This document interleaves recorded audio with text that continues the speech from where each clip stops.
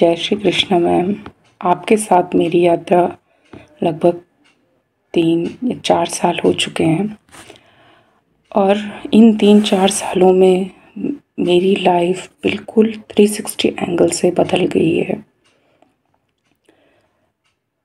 कहाँ से शुरू करूँ समझ में नहीं आ रहा है, क्योंकि इतने सारे चेंजेस हो गए हैं लाइफ में कि खुद ही मैं अपने आप को सोच रही हूँ कि मैं पहले वाली ही थी कि या मैं अब एक मेरा नया वर्ज़न बन गया है। इतन, जो मैं हर किसी के साथ साथ इतना इमोशनली अटैच्ड हो जाती थी, वो आज इतनी बैलेंस है कि मुझे कोई भी इमोशन फ्लक्चुएट नहीं कर सकता, परेशान नहीं कर सकता। सबसे अटैच्ड भी हूँ और सबसे डिटैच्ड भी हूँ। और आज जो ये कंडीशन है, वो सिर्फ़ और सिर्फ़ मैम आपकी वजह से है। आपसे प्रॉपरली रीडिंग लेने से मेरा अपना एक रूल है कि मैं साल में एक बार आपसे रीडिंग ज़रूर लेती हूँ।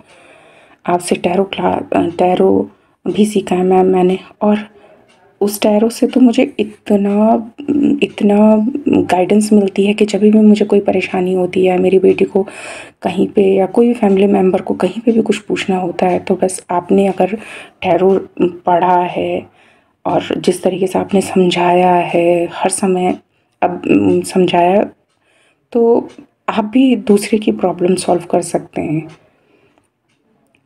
और टैरो सीखने से तो मुझे ऐसा लगता है कि डे टू डे आपके लिए क्या गाइडेंस आ रखी है, आप उसे भी अपनी लाइफ में फॉलो कर सकते हैं। और और अपनी लाइफ को, शायद मैं मैम इतना अच्छा गुरु मिलना, शायद में, मेरे कोई पुण्य ही रहे होंगे जो आप जैसा गुरु मिला है मुझे। और अगर लाइफ में एक बहुत अच्छा गुरु मिल जाए तो लाइफ आपकी में बल्ले बल्ले हो जाती है। Thank you thank you ma'am be in my life